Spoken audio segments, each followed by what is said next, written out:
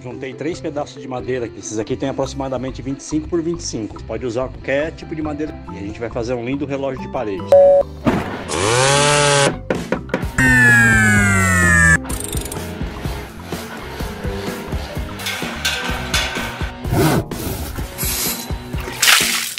Oi pessoal, Marco, do canal Aprenda com Marco.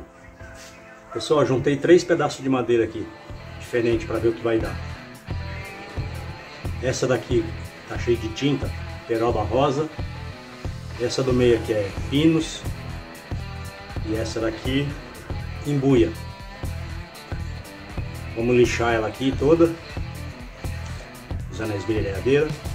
E vamos ver o que vai dar aqui. Como que fica o trabalho.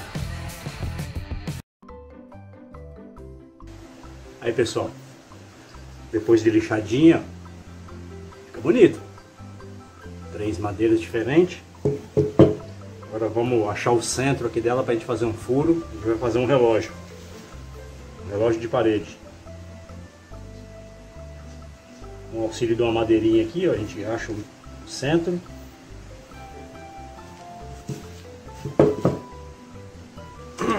faz um furo de fora a fora, aí atrás a gente vai cortar aqui para embutir a maquininha.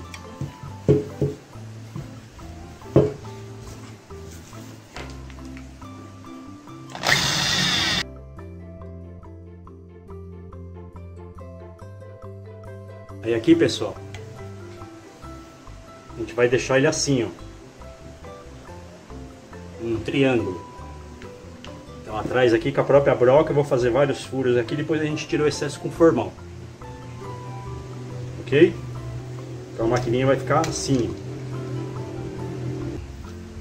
Aí pessoal, fiz vários furos aqui, ó. Eu fiz até o, o corte maior. Pra se precisar mexer um pouquinho na maquininha fica mais fácil. E agora vamos tirar o excesso com formão. Uma dica aqui pessoal. Se for fazer esses relógios quando a madeira é muito grossa, compra a maquininha com esse eixo aqui, ó, longo, porque aí não precisa afundar muito a madeira. Esse aqui é curto, que é o que eu tenho aqui, mas tem dessas aqui com carrosca longa, ok?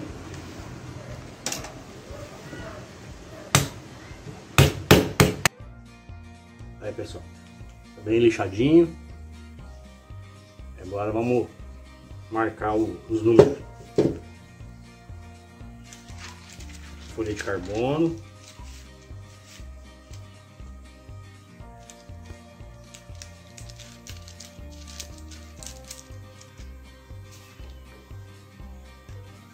Já adiantando, eu já peço a ajuda de vocês para deixar um joinha lá, se inscrever no canal, ajuda a gente aí que o canal é novo. Aí pessoal, já riscamos né, os números com carbono, o desenho, Aí vamos pirografar.